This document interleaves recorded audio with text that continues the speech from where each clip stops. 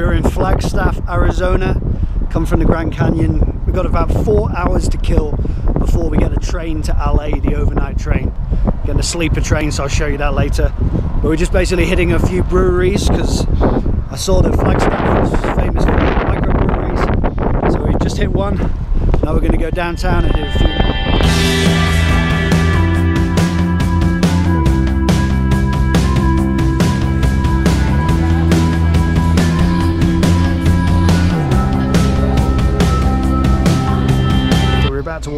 Uber from the last brewery to this one, and super kind woman gave us a lift.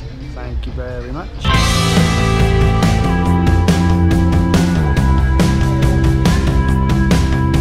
We've hit two breweries so far in Flagstaff. Wanderlust Brewery, which is awesome, and then we hit Dark, Sky Brewery, which is again awesome. Just had one beer there though. Gonna head down to Beaver Street Brewery now.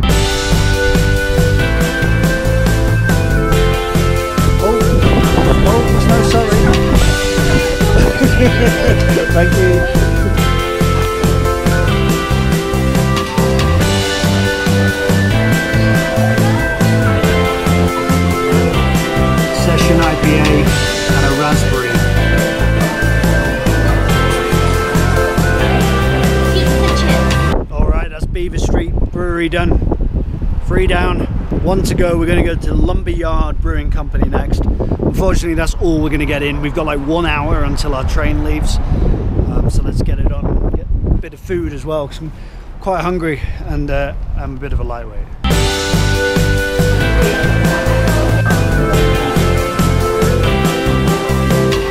We're about to board. It's about 20, 30 minutes late, but apparently it gets to LA on time so we can get a connection. Go Amtrak.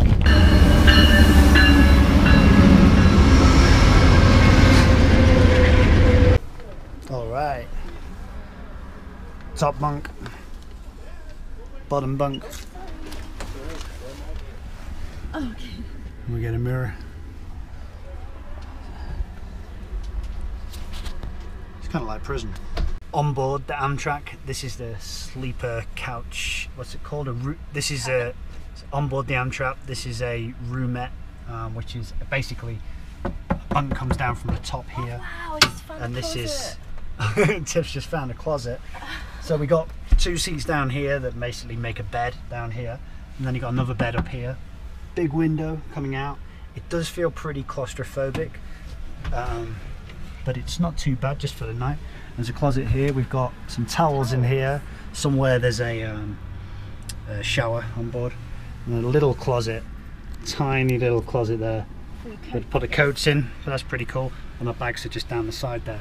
So it's about 9 p.m. now. We arrive in LA at about 8 a.m. I think, 8 a.m. And they said the breakfast is open at 5. So first come, first serve. How did you sleep? Huh? How did you sleep? Alright, actually. Yeah? Good. Me not so well. It was very like this. It was kind of like trying to sleep through turbulence. Uh, I managed to get maybe five hours, which is okay.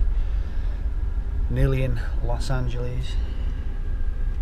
Well, we are in Los Angeles, but nearly at Union Station. Then we got one hour wait, and then we get on a train to San Diego.